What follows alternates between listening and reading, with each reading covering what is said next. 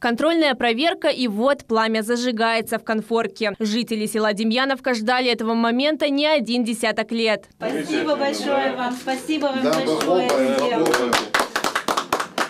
Эльмира Меметова приехала в село из Узбекистана в 1991 году. До сегодняшнего момента покупала тонны угля каждый год. Для семьи с маленькими детьми особо важно поддерживать тепло круглые сутки. С появлением газа в доме эти расходы остались в прошлом. Каждый месяц газовый баллон, он тоже 1200 рублей стоит. Вот представьте, какие затраты.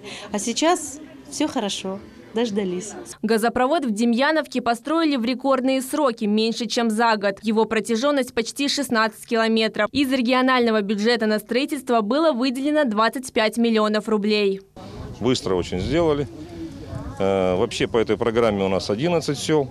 Вот 4 мы уже э, значит, запустили в течение полутора месяцев. Остается еще 7 у нас. Пока к газу подключили пять домов. Позже счастливыми обладателями голубого топлива станут и остальные жители. Для этого нужно привести в порядок документы на частные домовладения. Более 300 домов получили возможность подключиться к голубому топливу. До конца этого года газификация охватит еще села в Бахчисарайском и Кировском районе. Полностью обеспечить Крым природным газом планируют до конца 2035 года. Диана Бекмамбетова, Дмитрий Низовой, телеканал «Милет».